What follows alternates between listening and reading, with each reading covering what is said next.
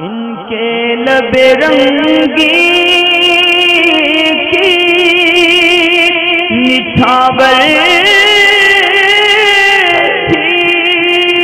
कि जिसने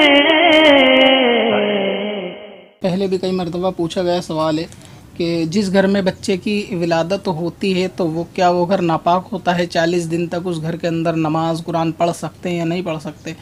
और देखें इस किस्म की बातें जो होती हैं, ये जितनी भी रसूमात बातिला हैं, ये सब कुफ़ार हिंद से मुसलमानों ने अपने अंदर जो रिवाज में ली है।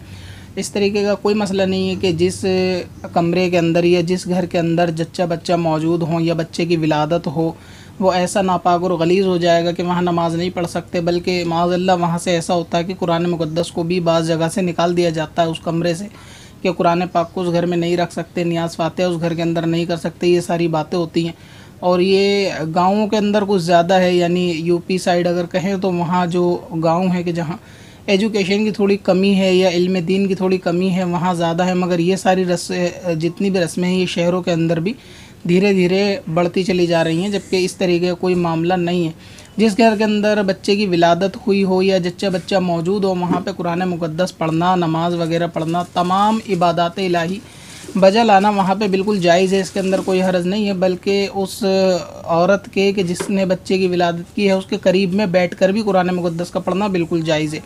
बाद लोग अपनी जहालत के सबब वहाँ से कुरान मुक़द्दस को भी निकाल देते हैं माज़ल्ला बल्कि कुरान पाक को ये ख्याल करके निकाल देना कि वो कमरा जो है नापाक हो गया, वहाँ कुरान नहीं रख सकते, ये बिल्कुल भी दुरुस्त नहीं है।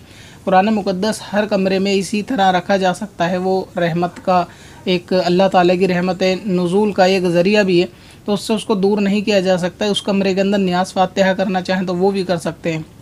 पहले भी इस तरीके के बहुत सारे सवाल आए हैं बल्कि इसमें ऐसा भी मुमकिन है कि पूछने वाले ने पहले पूछा था, क्या उनकी चरपाई वगैरह के पास बैठ के कुरान पाक पढ़ सकते हैं? तो जच्चा बच्चा की चरपाई के पास बैठकर ही कुरान पाक नहीं, बल्कि उनकी चरपाई पर बैठकर भी कुरान पाक पढ़ा जा सकता है। यहाँ तक कि अगर शौहर चाहे तो उस औरत का सर अपनी गोद में रखकर कुरान पाक पढ़ना चाहे तो भी जायज़ है।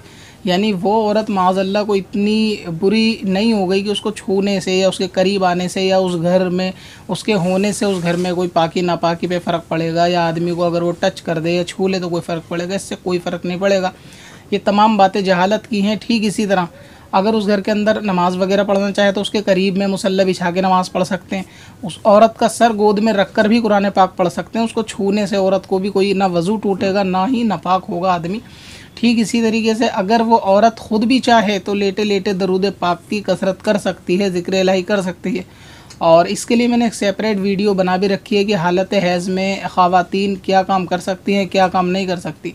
जो उसमें हुक्म हैज़ का है, वही हुक्म सेम नफ, निफास का है, यानी नापाकी की हालत में, चाहे वो हैज़ की हो या निफास की हो, औरत तमाम ज़िक्र इलाही कर सकती है।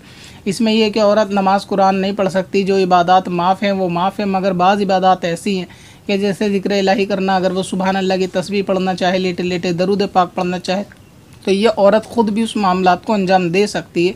ठीक, इसी तरह उस कमरे के अंदर नमाज़ न्याज फातिहा करना न्याज का खाना, जितने भी इबादत वाले काम हैं, दूसरे अगर कोई उस कमरे में नमाज़ पढ़ना चाहे तो वो भी नमाज़ पढ़ सकते हैं, कुरान की तिलावत औरत के पास बैठ कर करना चाहे तो कर सकते हैं। अगर औरत उस हालत में न्याज का खाना भी बना दे, यानी महीने के बाद अगर न्याज का खाना बनाना चाहे तो वो भी उस हालत में न्याज का खाना पका सकती है, जिस तरह आम घर वालों के लिए खाना बनाती है। तो ये सब जो है, अपने कम इलमी की वजह से लोगों के अंदर ये गलत फहमियाँ राइज होती हैं।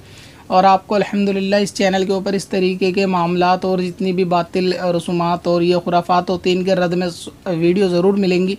मगर ये कि आप इसको एक मरतबा सवाल करने से पहले वीडियो की प्लेलिस्ट में देख लिया करें। ये सारे जवाब पहले दिए जा चुके होते हैं। तो इसलिए एक दफ़ा आप अपने सवाल को पहले उसके अंदर देखें। अगर वो ना मिले तो उसके बाद कमेंट्स या ईमेल के अंदर आप सवाल पूछें। मगर ये कि सारे सवालों के जवाब दिए जा चुके पत्थर में पुरनवार। पुरनवार